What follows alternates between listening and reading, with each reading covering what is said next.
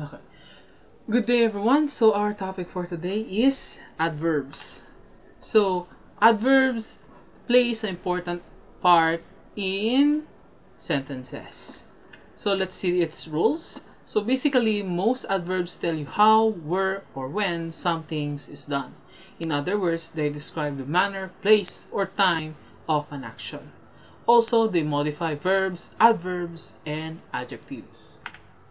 So, some commonly adverbs are formed from adjectives by adding ly. Kind, examples such as kind, kindly, happy, happily, wonderful, and wonderfully.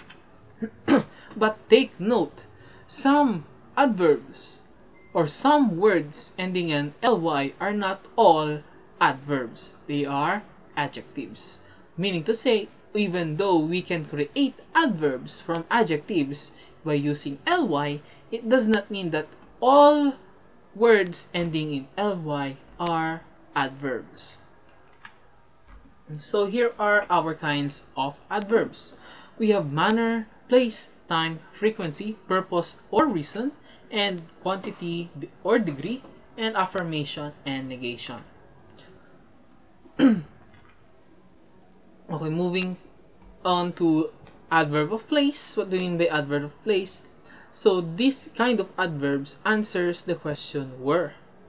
So where did the action took place?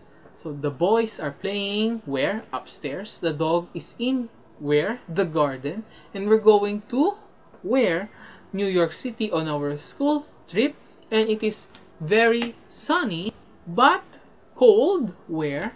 Outside. So as you can see, here are examples of adverbs not ending in ly. Next, adverb of manner. So adverb of manner describes how the way people do things. Basically, it answers the question how. Examples. The girls answered all the questions how? Quietly, eagerly, correctly. He was driving how? Carelessly, angrily. How? It answers the question how. The plane landed how? Safely. Okay. Rommel plays the guitar how? Awfully, skillfully, and so on and so forth. Next, adverb of frequency. So, some adverbs and adverb phrases answer the question how often, not how only how often an action is done. They are called adverbs of frequency. So how often do uh, is the action done? That is the question that ans is answered by the adverb of frequency. Examples. The children go to school on the bus. How often? Always. I'll make the mistake again. How often? I'll never. Okay. I clean my bedroom? How often? Is it every two times a day, twice a week, once a month, or every day?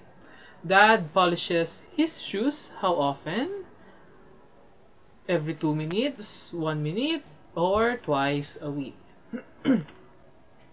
Next, adverb of time. So this as, uh, answers the question when. For example, the train has left when already. We moved into our new house when? Last week. Our favorite TV program starts when? At 6 o'clock. And I'm going to my new school when? Tomorrow. Next, adverb of quantity or degree. It shows how much or in what degree or to what extent. Remember, the adverb of manner answers the questions how. Adverb of frequency answers the question how often. This time, an uh, adverb of quantity or degree answers the question how much. He was careless. How much? Too careless. The sea is very stormy. I am busy. How busy or how much busy? Rather busy. I am prepared. How prepared? How much prepared? Fully prepared. And the mangoes are ripe. How much ripe or how ripe? Almost right. Next is reason. The adverb which tells about the reason is called adverb of reason. So basically, this is an adverb that answers the question, what's the purpose? Ano? He is hence unable to refute the charge. He therefore left the school. Next is adverbs of affirmation and negation. So, which says yes if it is yes and no if it is no. So, it basically confirms or declines something. So, I don't know. Surely you are mistaken and he certainly went. so, some more examples of adverbs.